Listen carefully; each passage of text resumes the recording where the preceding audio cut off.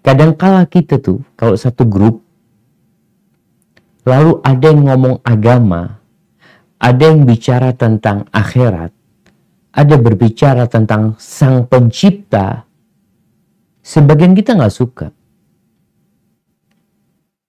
Seakan-akan pembicaraan tentang agama itu merusak kelezatan perkumpulan. Tapi Allah katakan wasbir. Sabar. Jangan berpaling dari mereka, jangan ditinggalin tuh kawan-kawan kayak gitu jangan ditinggalin.